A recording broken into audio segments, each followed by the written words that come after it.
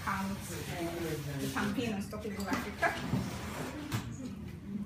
What are the perceptions we have? We have the Africa has.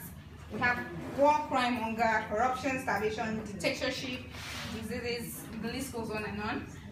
These are objectives, I'm sure we're all aware of that. Who are TAs? We have um, other continents, Asia, America, um, Australia, and every other you can think. And then we have Africans, so we need to change our perceptions from inside out. So we're choosing Africa as part of our target audience and every other part of the world. How's that big idea? Africa, my Africa. This is our campaign. Africa, my Africa. You know, um, Africa, my Africa.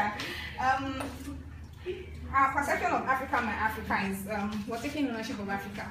Everybody's telling our stories for us. Now we want to tell the world our stories. This is what we are made of. This is the kind of people that we are. And this is how we want you to now see us. We're tired of how CNN and other international organizations tell our stories for us. So now we want to tell. So our story we are telling now is Africa and it is our own Africa. So we're telling it. It's not their Africa. Thank you. And then the next thing is that we're living in ours and um, we're telling the, the world our story ourselves. Um, our vision our vision is Africa rising above obstacles to tell our story of greatness, life, and resilience. We're great in Africa, there's no doubt about that. We have resilience in Africa. We have the power, we do not crack under pressure.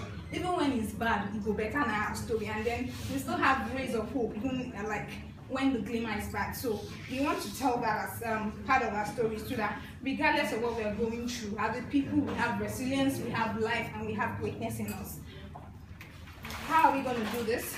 We want to use um, successful Africans in diaspora to act as ambassadors. We have people like Wole Soyinka, who is a recipient of the Nobel Award. We have people like Chimamanda, who um, the author of um, Yellow Sun, Yellow Sun, who, who is also very great and popular. And the list of Africans um, goes on and on like that. I'm sorry I can't mention them all right now.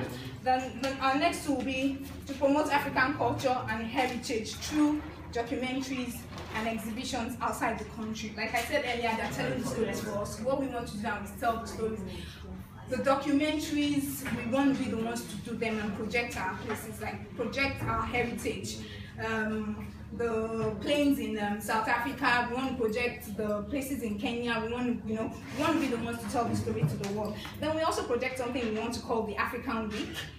It will be a seven-day fun-filled, educative, enlightening, and entertainment week where Africans will come together to showcase ourselves and people from the rest of the world can actually come in and see what we have for them.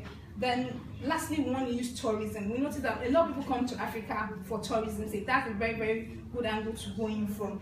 With that, we can actually show them that this is who we are, this is our culture, this is our heritage, this is how we behave, this as opposed to what they think and know about us.